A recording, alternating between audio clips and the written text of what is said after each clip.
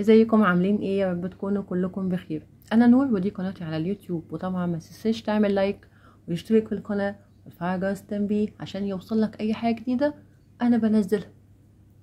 طيب النهارده اليوم العاشر لا تدع أحد يسيطر عليك مثل ساحر الثعبان. كن سيد حياتك الخاصة.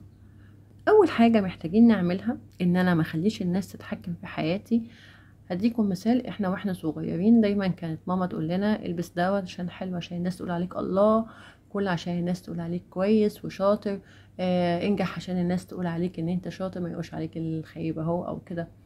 ما ناخد بالنا ادى مساحة لناس اللي حوالينا إن هم يتحكموا في حياتنا. إن أنا لازم أتخرج من الكلية الفلانية وأتوظف الوظيفة الفلانية عشان الناس بتقولش عليا إن أنا فاشل. لازم إن أنا أبقى ماشي على سيستم الناس كلها عشان الناس ما تقولش عليا إن أنا حد. فده جزء بسيط بيحصل لينا وإحنا صغيرين بنخلي الناس اللي حوالينا يتحكموا في قراراتنا وحياتنا عامة. طب إيه اللي مطلوب مني أعمله؟ أو إيه الحاجة اللي أنا المفروض أعملها؟ أول حاجة إن أنا أوقف أوقف أي حد يتدخل في حياتي سواء إن هو بينصحني أو إن هو بيتحكم اللي هو لأ أنت لازم تعمل كده.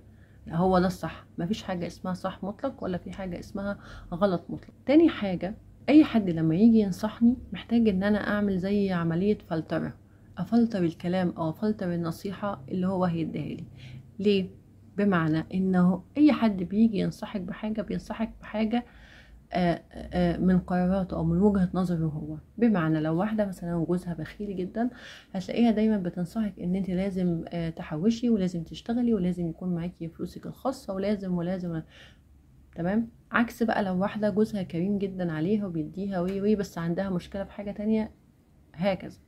حد مثلا خرجت من مرحلة انفصال ان هي مثلا انفصلت عن جوزها آه وحصل لها آه وحصل كان في طلاق وحاجه هتلاقيها دايما بتحذرك خلي بالك واعملي وما تعمليش حتى لو المشكلة ملهاش قوي بالحاجة اللي انت عايزة آه نصيحتها فيها. فده نوع فده نوع من أنواع التحكم. فإحنا دلوقتي قلنا نوعين. أول نوع إن إحنا بنعمل كل حاجة عشان الناس تقول لنا الله برافو. وتاني حاجة لما حد بي بينصحنا من وجهة نظره هو بنعمل ده.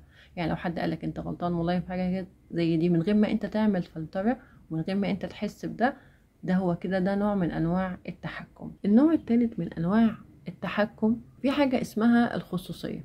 معنى إيه يعني إيه خصوصية؟ في حاجة بتقول داوي على شمعتك تيد في مثلا أنا في وقت من الأوقات بعمل حاجة عندي فكرة عايزة أعملها أو عندي حاجة هسافر أو هعمل أي حاجة في حياتي فأنا أول حاجة ببدأ إن أنا أبدأ أمشي في الإجراءات وأول ما توصل إن أنا تم تمت الحاجة أو كده ببدأ إن أنا أتكلم وأقول كل حاجة عن الحاجة دي والله أنا من فترة حصل لي كذا كذا وعملت كذا كذا كذا. معنى ان إن اللي قدامك ما تكلمش أو ما قالش إن هو هيعمل ده فده ما الحق ما يديكيش الحق إنك تقعدي تقولي أنت ليه ما قلتش أو ليه ما عملتش. ففي ناس كتير بيبقى عندهم ضغط في إن أنا لو ما قلتش الناس هتعاتبني أو الناس هتلومني أو هبقى في نظر الناس حد مش كويس. وده غلط. نختم بقى ونقول إن كل واحد مننا ليه حياته وليه قصته وليه الحاجات اللي خليته مثلا يعمل الفعل الفلاني ما يعملش الفعل دوت. نسيب كل واحد يعمل اللي هو عايزه. وتاني حاجة إحنا ما ناخدش كتير على كلام الناس. نحاول إن إحنا الحاجة اللي تبسطنا وتسعدنا طول ما هي ما بتغضبش الله سبحانه وتعالى و... ومش بره العرف بتاعنا خلاص محدش ليه حاجة عندنا محدش ليه حاجة عندنا ومحدش ليه إن هو يتحكم في قراراتنا أو كده لأن لو قدر الله حصل حاجة خسرت في حاجة أو كده وفقا إنك تسمع كلام الناس أو قلقان من الناس تقول عليك كذا لما هتيجي تخسر فيها أكيد مش هتقعد. لو لومت حد هيجي يقولك أنت اللي عملت أنا مش دعوة. فدي حاجة مني تخليك تفكر أنت إيه الحاجة اللي أنت عايز تعملها وقلقان من كلام الناس وقلقان من ردود أفعال الناس.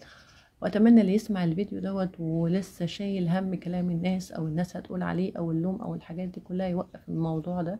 لأن بجد هتخسر حاجات كتير جدا طول ما انت قلقان وخايف وكده. اعمل اللي عليك طالما حاجة ما تغضبش ربنا. ان شاء الله اشوفكم دايما ناجحين. مع السلامة.